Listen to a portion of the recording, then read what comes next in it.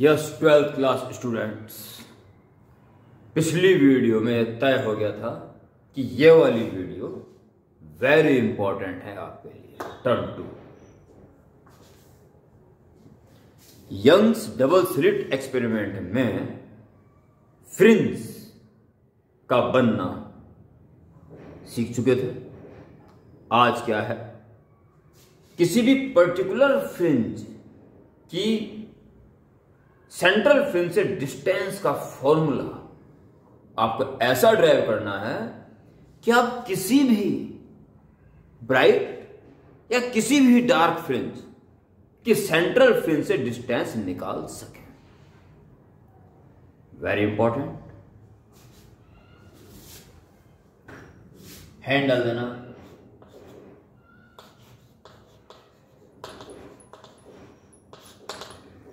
Position of any fringe in YDSE क्या full S C की? Young's double slit experiment okay और setup बनाएँगे। ये हो गया एस इससे equidistant to scratch S one S two it is S इसमें ये वाला स्केच ऐसे में कल समझाया था चित्र के साथ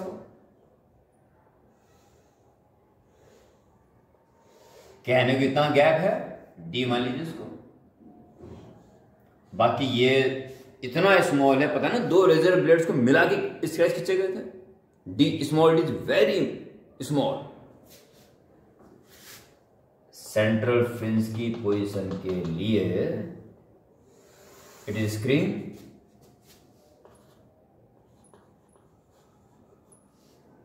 central fringe यहाँ बननी है और यहाँ कोई फ्रिंज बन रही है, इसका सेंट्रल फ्रिंज से डिस्टेंस फाइंड करनी है। D is the distance of screen from slits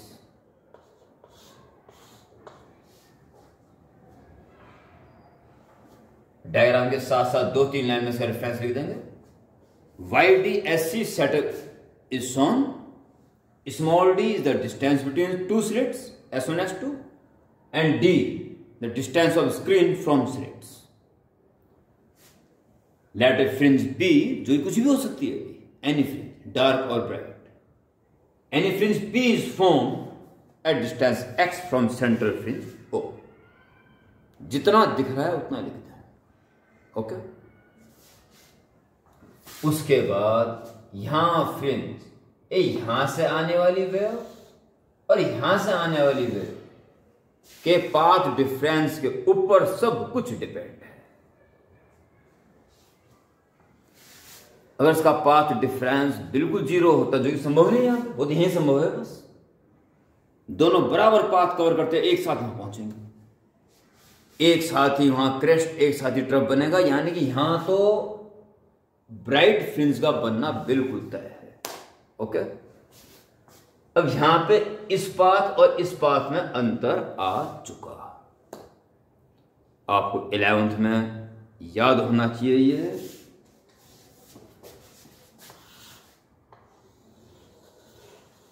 कि अगर यहीं से ही स्टार्टिंग हो रही है तो सेम फेस में हमेशा ही टू वेज मिलती रहेंगी। यानी पाथ डिफरेंस बिल्कुल ज़ीरो या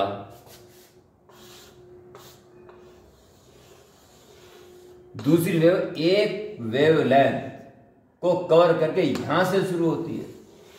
तभी सेम फे, फेस से मिलेंगे।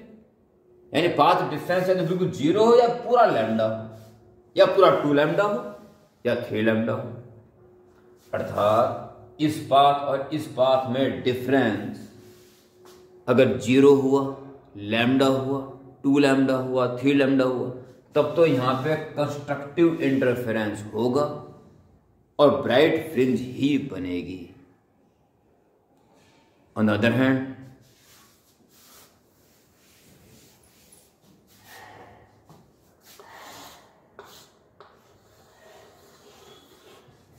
this is lambda this half lambda half lambda के बाद यहाँ से स्टार्टिंग होती है। तो ओपोजिट फेस से मिलना तय हो गया। या one lambda and half lambda, यहाँ से स्टार्टिंग से मिलेंगे। यानी कि path difference lambda by two, और one and half means three lambda by two five lambda by two. अब path difference S one P और एस टू पी में जो डिफरेंस है इनमें से कोई हुआ? तो ऑपोजिट फ़ेज़ से मिलना तय हो गया, और वहाँ ब्राइट फ्रिंज डार्क फ्रिंज का बनना तय है, और डिस्ट्रक्टिव इंटरफ्रेंस की घटना घटित होगी। अर्थात सारा का सारा दारोमदर दारोमदर इसके ऊपर है पाथ डिफरेंस के ऊपर। आप मात्र मैथमेटिकल पाथ डिफरेंस निकाल दें पहले। फिर सोचा जाएगा कि कंस्ट्रक्टिव होता तो ये पाथ डिफरेंस क्या होना चाहिए था और डिस्ट्रिक्ट होता तो क्या होना चाहिए था। तो first of all we have to find path difference तो जो आपने लिखा सेटअप के बारे में हैंडल सेटअप बना दिया in Y D S C small D is the distance between two slits D is the distance of screen from slits considering a fringe be distant X from central fringe O वही सारी बात जो नज़र आया वो लिख दो। उस पर अगले पैराग्राफ से अपनी कार्रवाई चालू कर दो। यहाँ से प्रिपेरेंट डाउन करो और यहाँ से भी प्रिपेरेंट डाउन करो। ये डी है तो इसका तो डी बाई टू हो जाएगा, और ये भी D by two D by two D Y ठीक है? और इन परपेंडिकुलर्स को एम और एन कह दीजिए। ध्यान देना लक्ष्य क्या है हमारा? एस टू पी और एस वन पी का डिफरेंस निकालना पाथ डिफरेंस बस इतना ही निकालना है पहले, बाकी बात बाद में सोची जाएगी। आर्टिकल इंपॉर्टेंट है पर कठिन नहीं है। ठीक है इसलिए सब कुछ आपके दिमाग में आएगा। इन ट्राइंगल अगले पैराग्राफ से। In triangle S one M P S one M P तो ये डी है तो ऑल आर डी ठीक है? और पाइथागोरस थ्योरम लगाइए। S one P square is to D square plus this central से एक्स है। यहाँ से डी बाई टू है। कितना बचा? X minus D by two का square okay in triangle S two N P S two N P S two P square is equal to D square और बताया ज़रूरत नहीं है। X plus D by two now X plus D by two square subtract कीजिए। X two P बड़ा है तो इसमें उसको माइनस करना one two subtracting one from two S two P square minus S one P square is good this cancel और इसमें से इसको माइनस करेंगे। देखिए एक्स स्क्वायर इसमें आएगा, उसमें भी आएगा। डी स्क्वायर फोर इसमें भी आएगा, उसमें भी आएगा और कट भी जाएगा। इसका मिडिल टर्म आएगा two into this into this X D उसमें माइनस एक्स डी आएगा, घटा तो प्लस बन जाएगा। तो X D plus X D two X D okay factor S two P minus S one P S two P plus s1 2xd this is our target. S2p minus s1p this is the path difference.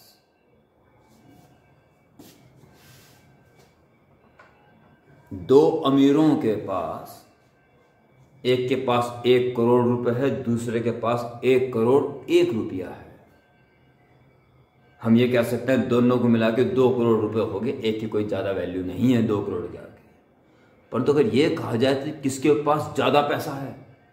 तो एक रुपया महत्वपूर्ण है। Okay?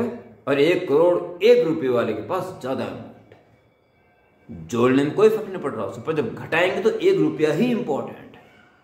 इसलिए प्यारे बच्चों, ये important है। जोड़ने फ़र्क नहीं पड़ने का ध्यान देना। बहुत ही विशेष रूप से ध्यान देना। S1 S2 बिल्कुल क्लोज है कि नहीं है? दो रेजर ब्लेड मिला के स्क्रैच खींचा गया ना।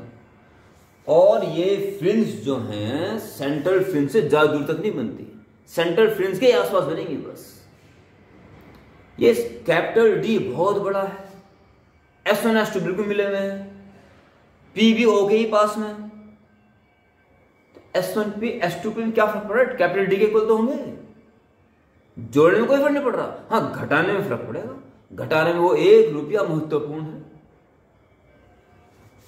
इसलिए S two P S one P S two P और एस वन दोनों ही जोड़ते वक्त, दोनों ही ऑलमोस्ट ऑलमोस्ट डी के बराबर है। ठीक है? बताना पड़ेगा पर। बताना पड़ेगा। जब आप इसको फॉलो कर रहे हो रफ कॉपी लेके बैठे हो। तो इस मोड़ पे ना जो मैं बोल रहा हूँ वो आप लिखेंगे। इस मोड, मैं नहीं लिख रहा हूँ। क्या लिखेंगे? ढंग से सुने। लिख लेना हाथों हाथी। Now S one S two are very nearly almost close to each other and P is also very close to O so both S one P and S two P individually equal to capital D okay then इतना जो मैं बोला, ये आपको लिख देना then S2P minus S1P and both are D. D plus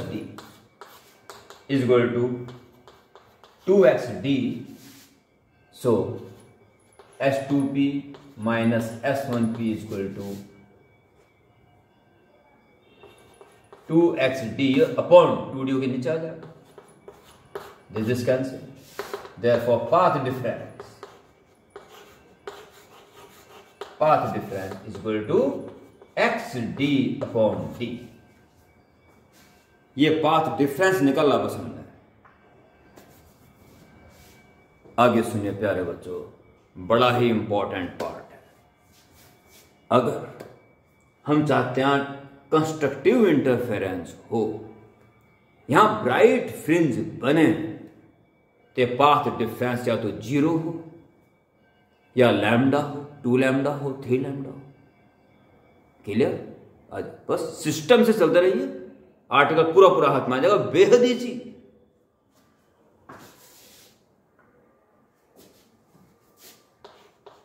for constructive interference constructive interference यानी कि bright free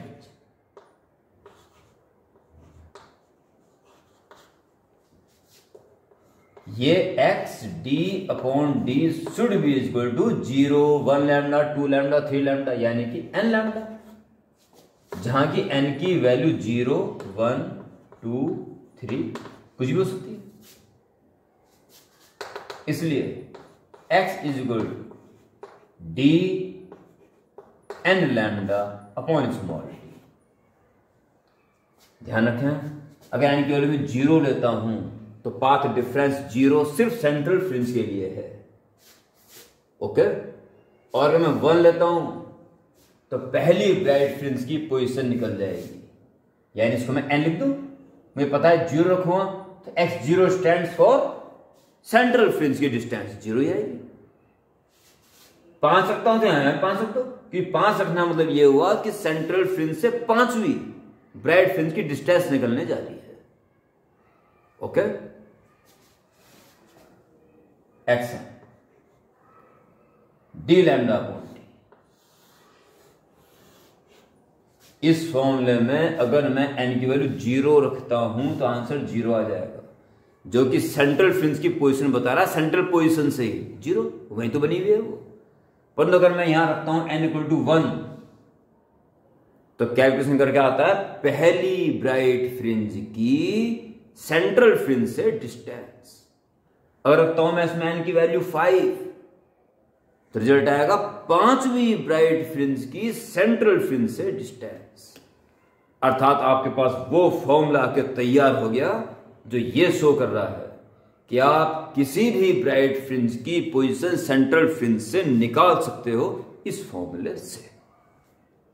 Okay similarly for constructive interference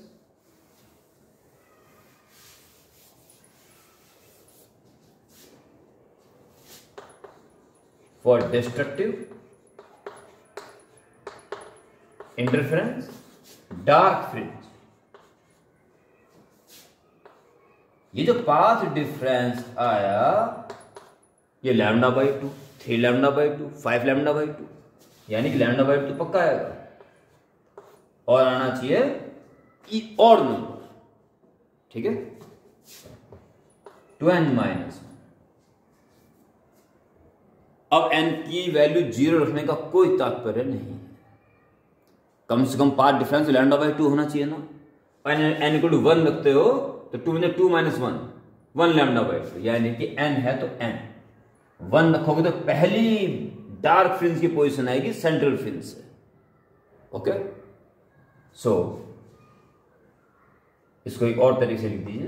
to का डिवाइड दोनों में दे दो फॉर्मूला समझ जाएगा। N minus half lambda. So, distance of nth dark fringe from central fringe d into में जाएगा d into n minus half lambda upon d d lambda upon d और यहाँ n माइनस हाफ़ कर देना है बस और कुछ नहीं करना अगर इसमें एन की वैल्यू हम ज़ीरो नहीं रख सकते, ठीक है, ध्यान रखना बस। एन इक्वल ज़ीरो कोई तात्पर्य नहीं। N equal to one two three two zero ये वो फॉर्मूला आपके पास उपलब्ध हो चुका। तो किसी भी डार्क फ्रिंज की सेंट्रल फ्रिंज से डिस्टेंस निकालना आपको बता देगा। ओके तो position of any fringe from central fringe के दोनों फॉर्मूले आपके सामने आ चुके हैं। प्यारे बच्चों, इस वीडियो का अंतिम आकर्षण फ्रिंज विट यहाँ बहुत सारे बच्चे बड़े ज़बरदस्त कंफ्यूज रहते हैं। पाँच मिनट का काम और है गया। बिल्कुल कंसंट्रेसी के साथ सबसे इंपॉर्टेंट पार्ट इस वीडियो का देखें।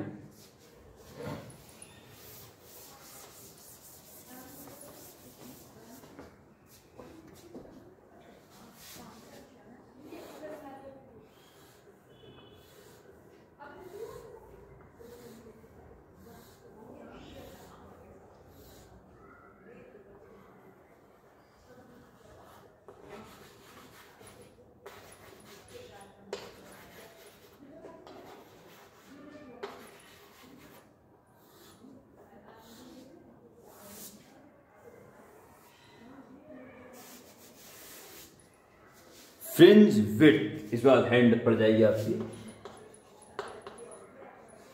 फ्रिंज विथ डब लगता है जितनी चौड़ी ये पट्टी है या ये पट्टी है, ये फ्रिंज विथ है। और यही गलत हो जाता है। ये फ्रिंज विथ की मोटाई बहुत कम होती है।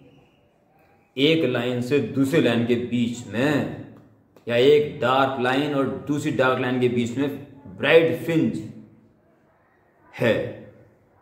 दो डार्क फ्रिंज एक लाइन की तरह हैं, जिनके बीच का गैप ब्राइट फ्रिंज है। पर यहाँ तो ये डार्क फ्रिंज लाइन कह रहे हैं तो होगी ना गड़बड़। अर्थात डार्क फ्रिंज तो मेरे साथ ही होगी, क्योंकि ग्रीन बोर्ड कल बताया था मैंने बात को? अपने अकॉर्डिंग जो डार्क फ्रिंज है, ए, ये और ये, इसके बीच के गैप को कहा जा रहा है फ्रिंज विथ या इसके और इसके बीच को कहा जा रहा है fringe with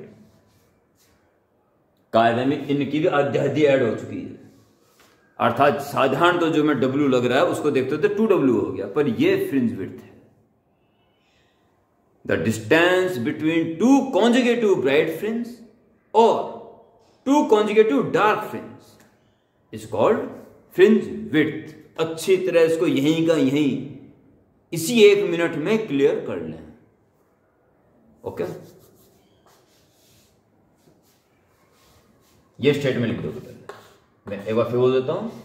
The in Y D S C the distance between two conjugative dark fringe और two conjugative bright fringe is known as fringe width okay ये लिखना है पहले। इस कारण पॉज कर करके लिखते रहो, फटाफट रफ कॉपी में। तब फेर में दर्ज करना उसको। तो फ्रिंज विथ इज़ इक्वल जैसे, सातवीं ब्राइट फ्रिंज की डिस्टेंस माइनस छठी डार्क फ्रिंज की डिस्टेंस या सातवीं ब्राइट फ्रिंज की डिस्टेंस माइनस छठी ब्राइट फ्रिंज की डिस्टेंस माइनस कर दे। आ गया क्या? या आठवीं की डिस्टेंस में से सातवीं को माइनस कर दो। अर्थात, कोई एन प्लस वन में से जस्ट कम एन वाली माइनस कर दो। तो दो लगातार एनवी और एन प्लस वन के बीच का गैप आ गया। ये फ्रिंज विथ हुई। ब्राइट फ्रिंज के डिस्टेंस लेते हो तो उसका फॉर्मूला था D N lambda upon D N कितना है? एन प्लस वन माइन ये तो एन ही D N lambda upon D. तो डी लैमडा अपॉन डी तो कॉमन आ जाएगा। यहाँ से बचेगा एन प्लस वन, वहाँ से बचेगा एन। It's cancel. और इसके कैंसिल होने का तात्पर्य यह हुआ कि इससे कोई फ़र्क नहीं पड़ता कि आठवीं में से सातवीं माइनस कर रहे हो या छठी में से पांचवी माइनस कर रहे हो। अर्थात सारी फ्रिंज बराबर विर्थ की है। अलग अलग अगर अलग अलग विर्थ की होती है तो एन के ऊपर डिपेंड होता हो so fringe width is D lambda upon D बड़ा आसान फॉर्मूला और एक बात प्यारे बच्चों, में बता देता हूँ, बड़ा इंपॉर्टेंट है। मैं तो यहाँ पे प्रैक्टिस कराता ही हूँ ऑफलाइन और ऑनलाइन में भी दबदबा देना पड़ता है कहीं कहीं तभी आपकी तरफ़ से होमवर्क आता है। इस फॉर्मूले पे डी डी लैमडा डब्ल्यू चार लेटर्स हैं। न्यूमेरिकल कैसा है? तीन लेटर दे दे और चौथा पूछेगा बस। यानी आसान है, पर आप इस जगह बहुत भारी भूल कर लेते हो। इस जगह क्या होता है? आप सब सुपर जाते अब अब तो बस हम ही हैं जो कुछ है। कोई कर्नवाल सर नहीं, कोई स्कूल नहीं, कुछ नहीं। आप अपने दिमाग दौड़ा रहे हो क्या? डी डब्ल्यू जो डी लैमडा पॉइंट डी इसमें हमें प्रैक्टिस करके क्यों टाइम खराब करना सीधा एग्ज़ाम में करने का हमें याद आएगा डब्ल्यू जो डी लैमडा पॉइंट डी याद जाए मैंने कहा, बच्चों प्रैक्टिस करो। आपने अपना दिमाग दौड़ाया नहीं, क्या ज़रूरत है ऐसी प्रैक्टिस करने की? गुणा बाबा ही कर लेंगे डायरेक्ट बोर्ड समय बीता। बोर्ड एग्ज़ाम आ गया। फिजिक्स का पेपर आ गया। आपके सामने आ गया। और पर्टिकुलर क्वेश्चन भी आ गया। तब भी आप, अरे ये तुम कर लेंगे बस। डी लेमडा पॉइंट याद है हमें तो। और जब वो मोमेंट आया कि आपने पर्टिकुलर क्वेश्चन का नंबर लिखा? We have fringe width W is equal to तब आया वो क्रिटिकल मोड जिसके लिए कहता था मैं कर लो practice we have fringe width W equal D lambda upon D D lambda upon D D lambda यार D lambda upon D D lambda upon D मतलब कैपिटल डी ऊपर के नीचे। बस, बार बार लिखे डी लैम्डा अपॉन डी ये देखा था हमने। या फिर छोटा बड़ा कैपिटल नीचे। ये ये था ये था। ओ सिट फिर ये करोगे। इसलिए इसकी प्रैक्टिस ज़रूरी हाल सर आज मैं बता देता हूँ। फिर आप प्रैक्टिस नहीं करोगे उसके बाद। प्रैक्टिस फिर भी करनी है।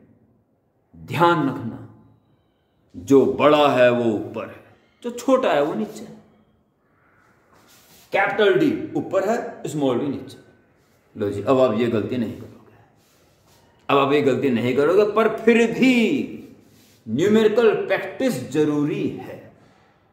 ओके मिलते हैं नेक्स्ट वीडियो में। Good night